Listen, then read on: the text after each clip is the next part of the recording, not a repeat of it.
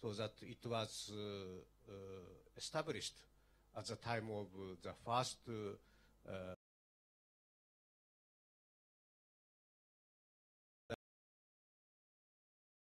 suspended, but stability with Your Excellency President, and we have been continuing until today. Probably, no, but probably will continue. The place is a cradle cradle of the Japanese uh, assistance to the... Uh, uh, I'm very proud of that fact, very much so I wanted to say. Yeah. So second, I jumped in the financing issue and participation of the Uh, financing on the authority, establishing an authority or a special fund. Uh, I would say that uh, any government is struggling to make a perfect budget. In Japan, for example, our tax tax revenue covers the government expenditure only 50% or 55%, so that uh, every year we are borrowing, but also in the expenditure, we have a lot of amount to uh, uh, repay the government debts. So that it is almost it is actually impossible to satisfy everybody. I think uh, so let alone in a developing country like uh, Uganda, so that nobody, uh, yeah, every it is not possible to to satisfy everybody. So that is also the area of the mm, skills development. Yeah. So that that the government role to see what is a priority and what comes next. Uh, I think that is the role of the government, yeah, and absorbing the voices of dissatisfaction from all over the side. But uh, nevertheless, the government has to decide uh, annual budget in time, otherwise government cannot move. So that is a basic concept or assumption. Then coming back to that, uh, uh, the budget of the skills uh, development, I would say that the basic and general vocational training is a role of the public sector government, because that benefit throughout the sector. Even maybe fishery or maybe there are specific needs, but as a sector-wide, there are some standard uh, required uh, skills. So that that may be the role of uh, the private public sector. But there are some specific needs of the industry sectors or individual companies. For example, in Japan, there are a lot of public vocational training skills, schools, and they eh, they do a lot of basic skills. But once they eh, employed, then that eh, each company has its in-house training, sometimes using outsourcing, depending on the skills, plus on-the-job training. So that I'm a bit afraid to levy Uh, from the industry sector. Someone said that already uh, uh, private sector is burdened by number of the levies, no? And to making a special fund means generating administration again, yeah? So that I, besides accountability, transparency, I'm a bit afraid of making a special fund together with some administration that is very scarce money go to the administration. Uh, so that if uh, some industrial sector uh, as a sector to have some specific uh, uh, training for the entire sector, maybe uh, that uh, private sector of that industry may make its own uh, uh, uh, facility uh, of the training and supported by maybe subsidy of the uh, government or uh, local government. That, that uh, personally more healthy in financing. Uh, I've got uh, such a uh, mm, impression. About the one lady talked about certificate issue. Th- that is uh, very much a, a interesting point to me that uh, in a Western world, uh, so some paper like a doctorate or magis- mm, magistrate, those postgraduate papers are very appreciated. Sometimes without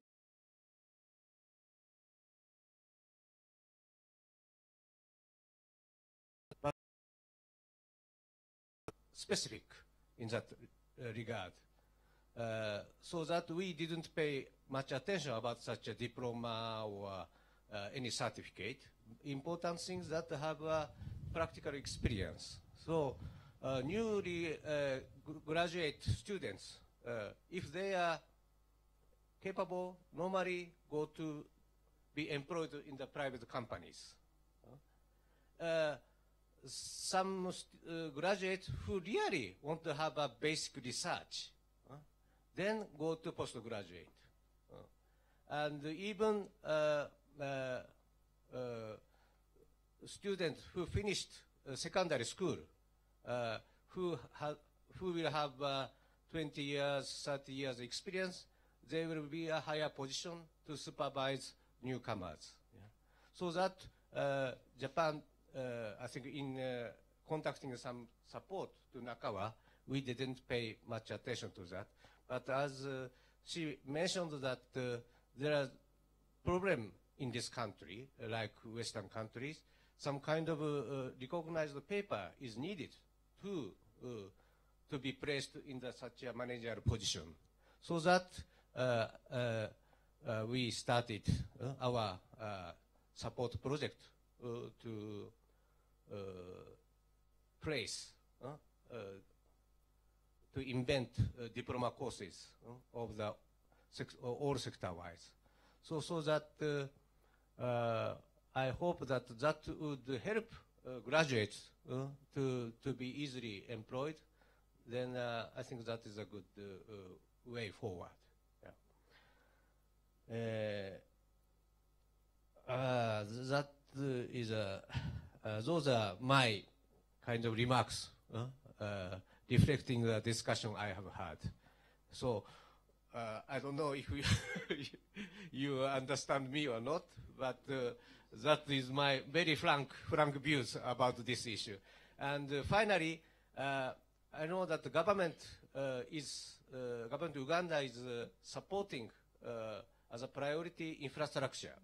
Yeah, to attract foreign investments. Yes, yes, foreign investment uh, uh, to be attracted, infrastructure is very important, but for foreign companies like Japanese, they may come, but uh, also need to, to hire skilled people, skilled workers, skilled young people, so that I'm uh, always calling that uh, vocational training as a uh, education is a kind of soft infrastructure, infrastructure and hardware infrastructure and software infrastructure have to come side by side, so that uh, Japan uh, is going to uh, continue to, to support uh, uh, hardware infrastructure in Uganda and the software infrastructure like uh, vocational training in Uganda.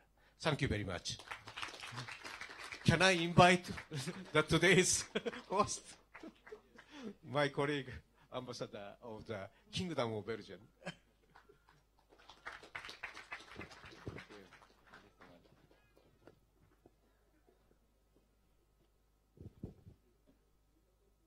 Her Excellency, Minister of Education and Sports, First Lady uh, Mrs. Janet Museveni, His Excellency the Ambassador of Japan, distinguished guests, ladies and gentlemen.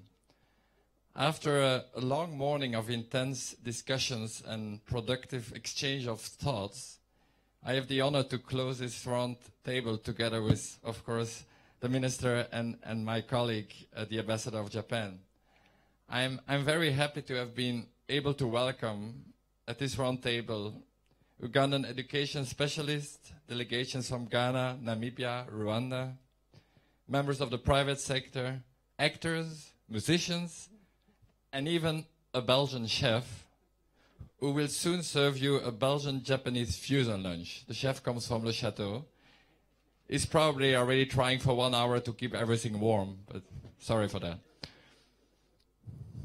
Except for the sushi, which is cold by nature, I guess. One could argue that today we witnessed technical trainings in all its aspects.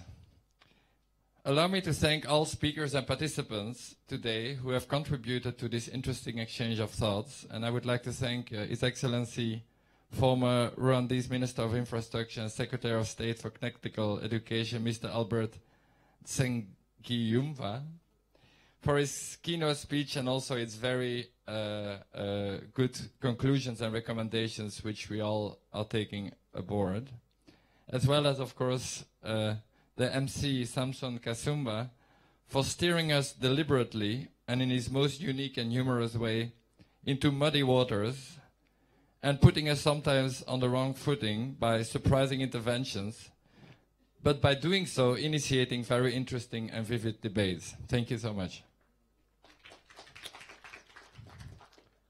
We are most grateful, of course, to the First Lady, Excell Excellency Ms. Janet Museveni and our team to present here today, to be present here today, acknowledging the importance of technical education and South-South cooperation.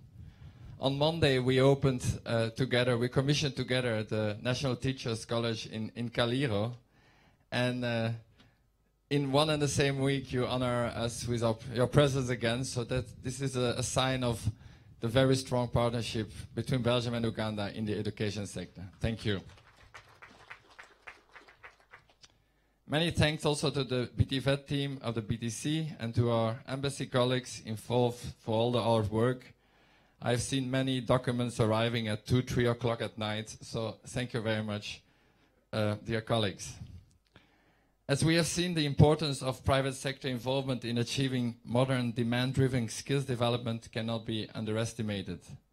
Therefore, we are very grateful that some of Ugandan's champions of industry were either here today or were present in the video in order to share their views and debate about their priorities, the obstacles that they see, and their future role. Belgium believes strongly in the importance of technical and vocational training seeing the crucial role it can play with regards to economic and socio-economic developments. Although I have one or two university degrees myself, it needs to be acknowledged that the country needs more than professors, academic researchers, and university graduates, or ambassadors for that matter. I was very much, uh, uh, very much liked uh, the, the, the quote of, of, of the First Lady when she talks about that we have to finish this cycle of education, starting with the head, the heart, but what has been missing a little bit is the hands, and we have to finish this cycle. I myself use most of all my head, maybe sometimes my heart, I hope, but very little my hands, except for shaking hands. And this is not enough. I lost my, my thought here. Um, a private sector, here as well as in my home country, can only thrive and grow if it has access to people who are technically skilled. I do have a toolbox at home, but I'm not such a technical skilled man. And who have been prepared to work in a private sector setting and who have been taught how to acquire new skills when necessary. I also come from a country with little natural resources left. Nevertheless, Belgium is one of the biggest exporters per capita in Europe. And why is that? Because we have a skilled labor force, which helps us to attract investment from local companies as well as from abroad. development is not just about infrastructure, roads and natural resources, oil, etc. It is as much or even more about education, training and skills, building a workforce that can contribute to the national economy. It is because Belgium is convinced of the crucial role of technical and vocational training that we organized this roundtable discussion on skills development today. The reason being that the issues and obstacles that Uganda encounters in this field are far from being unique, while the solutions might be closer to home than we might think, and we heard that today. Also, our Minister of Development Cooperation, Mr. Alexander De Croo, believes strongly in the importance of private sector development. This is why in several other partner countries we are moving in the direction of much closer cooperation between private actors and development cooperation, focusing on those partners and partner institutions that understand the importance of skilling and the urgency of reform. In this context, it is also no coincidence that we chose for Nakawa Technical School as the venue for this roundtable meeting. Education is about long-term investing and about partnership, and the cooperation between the Triangle Japan, Nakawa Technical School and private company, companies is for us an example on how we can link our development priorities with private sector engagement and existing education institutions. One word about the Skilling Uganda strategy. We heard that it was launched five years ago in Jinja and maybe not as enough has moved since. We believe that the game changer for this plan is the inclusion of the private sector in the coordination, management and potentially even the financing of skills development in Uganda. Linking private sector to technical and vocational training is essential to guarantee that students who leave their school or institute find a job and a place in the labor market, allowing them to gain an income, provide for their family, and find their place in society. However, before we can arrive at this stage, better coordination and management of skills development will be needed to make the Skilling Uganda strategy work. And there we're also talking about the Skills Development Authority, Skills Development Funds, etc. The current institutional framework leaves different education institutions too much scattered and without any centralized decision-making power, although necessary to make progress. Moreover, skilling is concentrated in one ministry while it clearly covers many different actors and sectors. Last but not least, the link with the private sector is too weak and not sufficiently institutionalized, while the students and the schools themselves are not implicated enough in the current skilling framework. And we did hear today some proposals from, among others, uh, Ghana, Namibia, about this possible collaboration between government and private sector in this, in this respect, and also in which way it could be organized. Of course, every country is different, so it's not the goal to take over models from another country, but it's just to hear about best practices and see how they could actually be used here. Over past few years, a number of development models have pledged their support to the implementation of the paradigm, parag, paradigm shift contained in the Skilling Uganda strategic plan, including, beside the Belgian government, also the Irish government, the European Union, and, and the World Bank. Other education development partners such as the Netherlands, Germany, Ireland, South Korea, and of course Japan are contributed to the realization of the Skilling Uganda agenda through different skills development projects. Ladies and gentlemen, this roundtable was initiated to bring together expert and skills development practitioners in the region to share experience on modern demand-driven innovative ideas for skills development, learning from Rwanda, where the reform process is accelerated since 2008, as well as from experiences on the one-stop shop for skills development in Namibia and the formation of a skills development fund in Ghana. We have heard it all. All these examples and best practices show us that there is absolutely no reason why Uganda should lag behind in the field of skills development, nor further delay the urgent institutional reforms to support its ambitions. We are optimistic that the knowledge and experience shared during the dialogue today will support the government of Uganda in setting up successful skill development systems that respond to the need of the employers. Especially the willingness that we heard of the private sector to get actively involved and also financially towards, for example, an, a, a skill development fund is very promising and should be highly, highly encouraged. Because matching the acquired skills with the need of the private sector is in the advantage of everybody involved, the companies, the job seekers, and the economy as a whole. As chair of the Education Development Partner Group, Belgium would like to confirm its commitment with regards to the successful implementation of the Skilling Uganda reform agenda in close partnership, as we always have done, and dialogue with the Minister of Education, the other education developer partners, but also the private sector. We are therefore looking forward to the continued dialogue about the future of skills development with both with, with all those actors involved. It's important to look ahead and no longer behind. Old recipes, conservative ideas, and lack of imagination will only hamper the development of skilling Uganda, while its success is crucial for Uganda's progress and the well-being of its young people who will enter the labor market tomorrow and many years to come. We still have a lot of work ahead and a long way to go. However, allow me to end with a Japanese quote that also seems fit to Uganda. Now, it's very dangerous here because, first of all, I might have the risk of pronouncing it horribly long, wrong, but even worse, it might mean something totally different than what my team told me it means. So, if that is the case, I apologize beforehand. But let me try. Shoda mo tsumoreba taiboku o tausu. Did you understand? Oh. And you are not insulted. Oh, no, okay. If, if, if I was informed correctly, it translates something like, with many little strokes, a large tree is felled, is felled, which actually means that changing established ideas cannot be done in one go.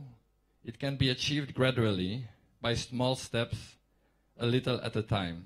And let us take these steps together as partners as we are, without any further delay. And now I have the pleasure to invite on stage the First Lady of the country, Minister of Education and Sport, Ms. Janet Museveni.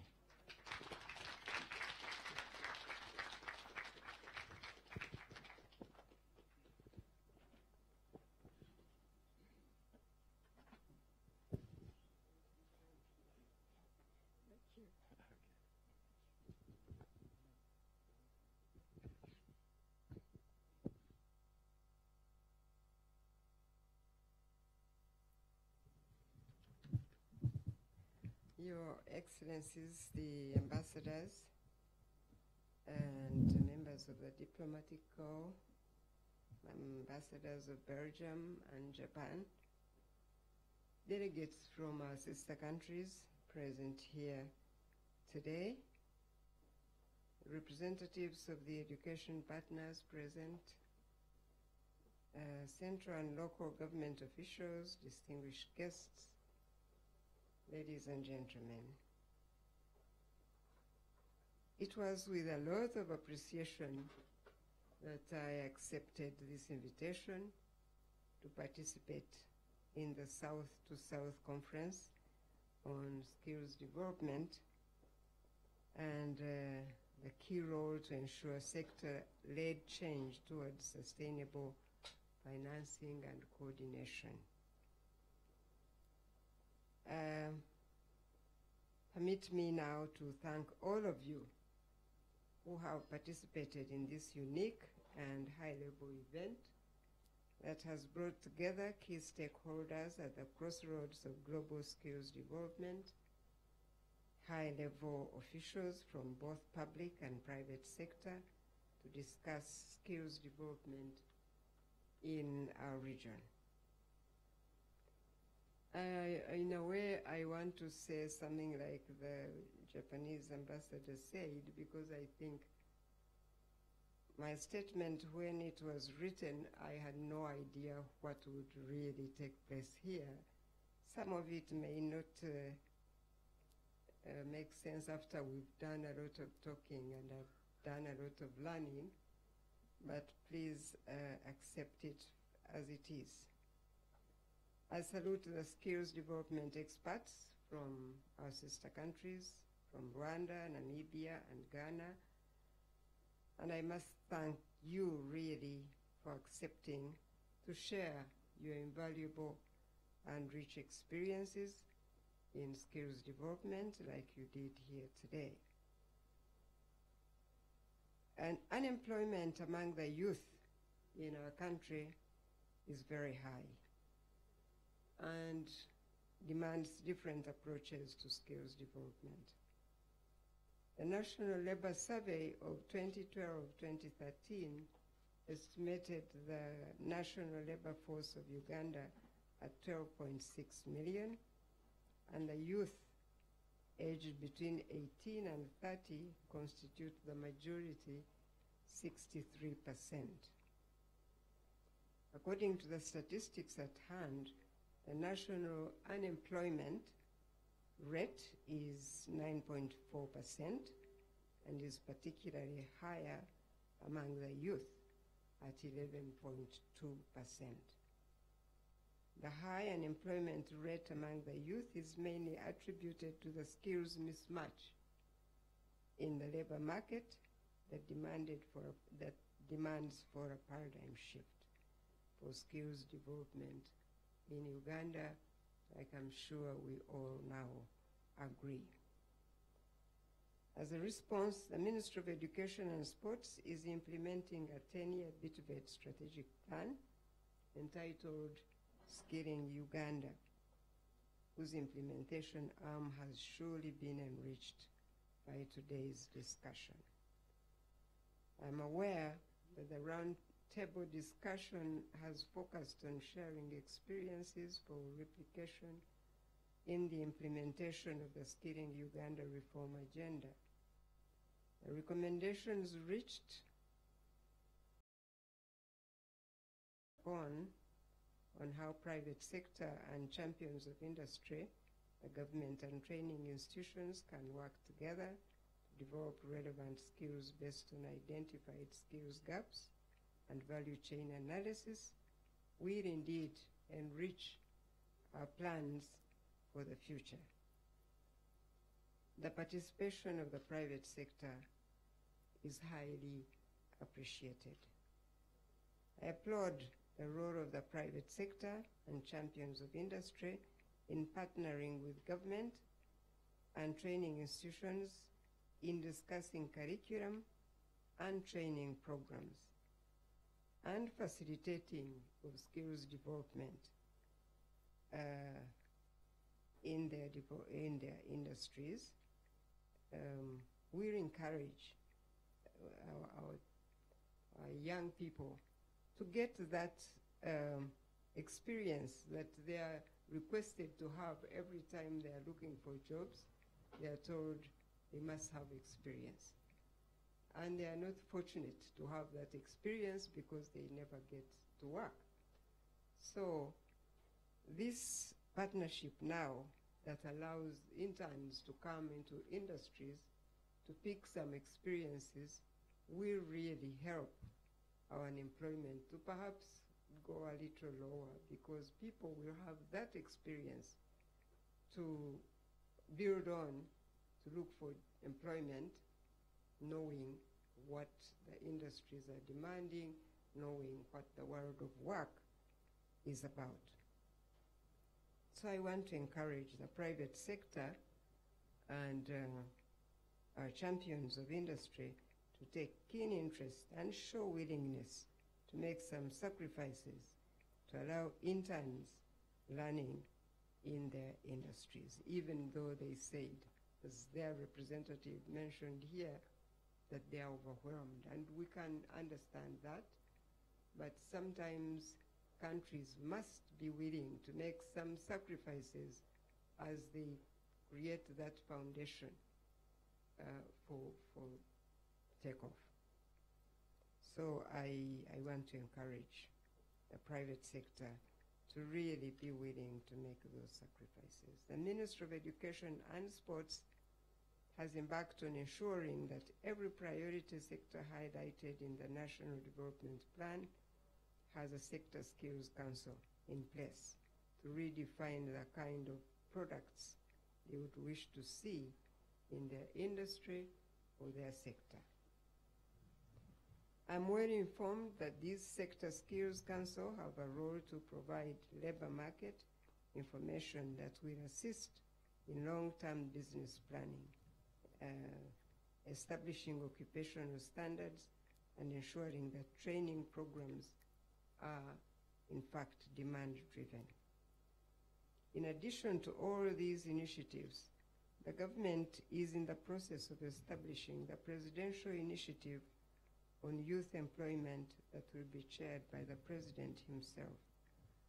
This is after the president has learned that uh, there are so many of our young people who are qualified from the many um, high training institutes in the country who are unemployed because they are not skilled.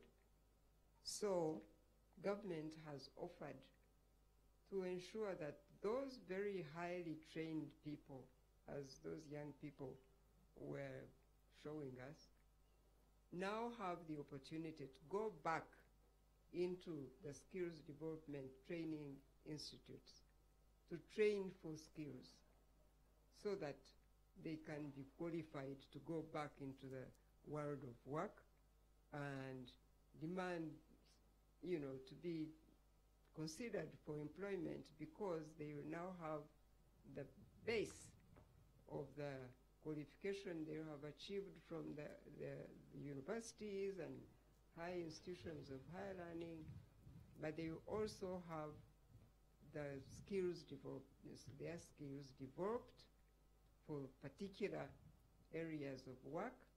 And so we think that uh, this presidential initiative will also help to empower uh, our youth for getting skilled. This will be to address youth unemployment in a more coordinated and streamlined manner that ensures that all initiatives by your stakeholders are in line with government policy on skills development. Let me now salute the Belgium as the chair for making this conference possible and to all education development partners, really, especially the Japanese who have put up this uh, vocational training for 40 years, as we've been told, I think we deserve, they deserve a major clap.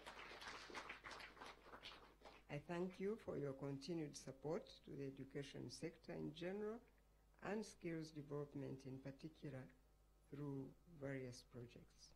I want to re-echo my ministry's commitment to work with all education development partners, the private sector, and champions of industry to move the Skilling Uganda agenda to another level.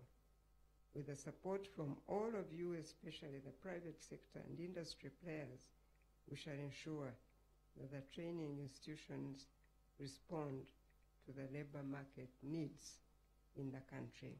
And I want to thank you and God bless you.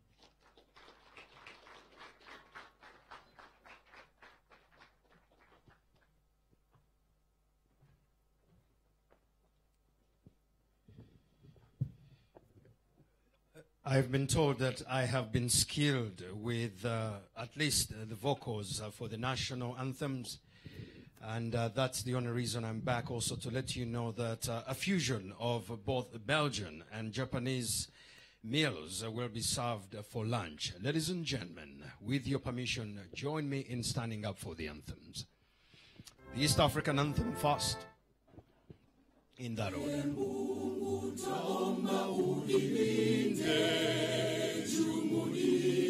Afrika Mashariki tuwezeshe kuishi kwa amani yetu. Jumuiya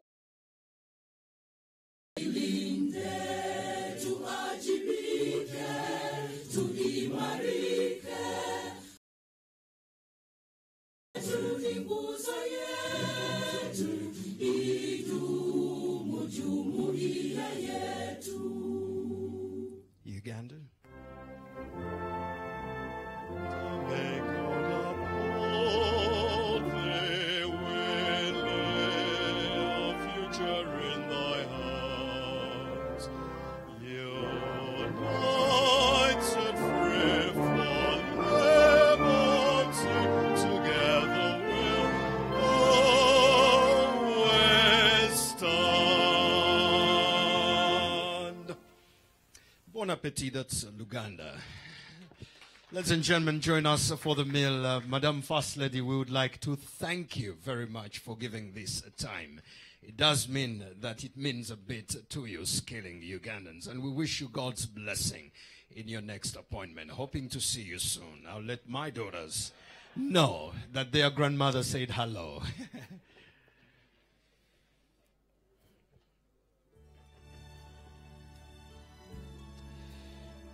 Well, there might be a photo opportunity um, uh, with the First Lady. Those of you who know how that goes, it will be out there.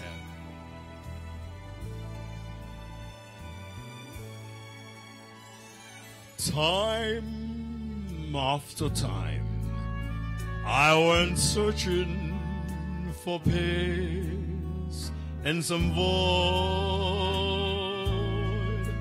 I was trying to blame all my what I was in, oh yes, surface relations used me till I was done in, oh yeah.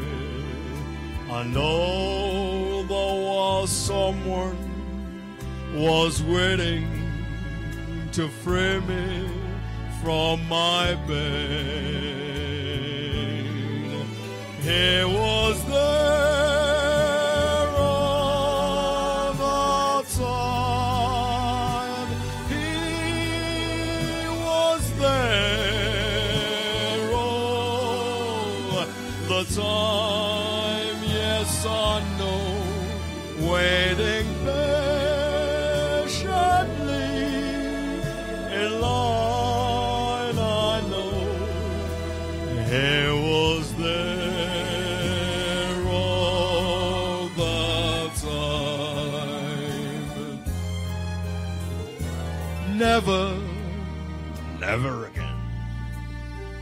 will I look for a fake rainbow's end.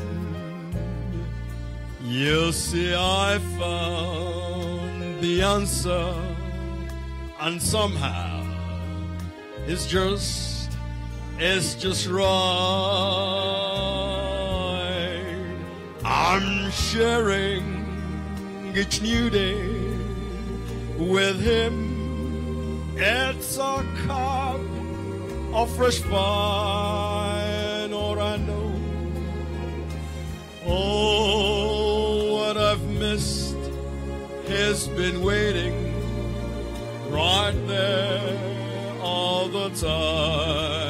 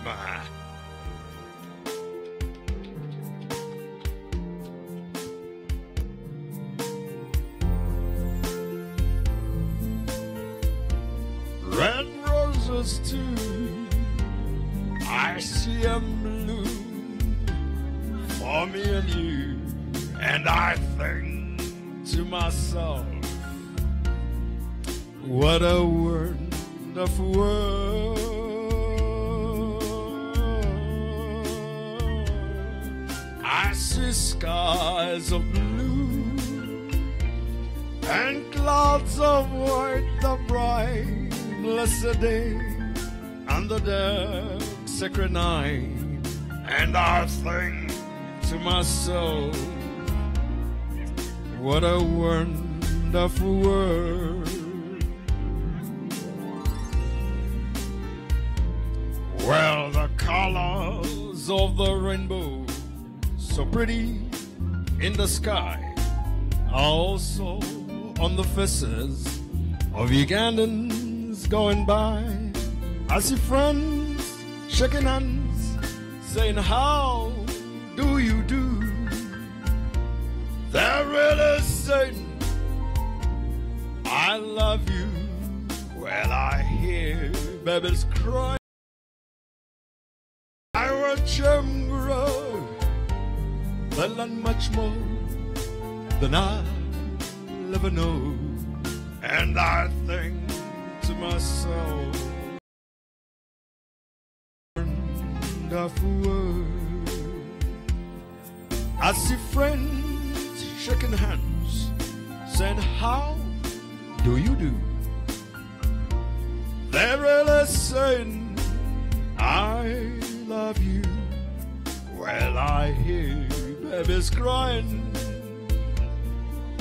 Watch them grow. They learn much more than I'll ever know. And I think to myself, what a wonderful country. Well, I think to myself,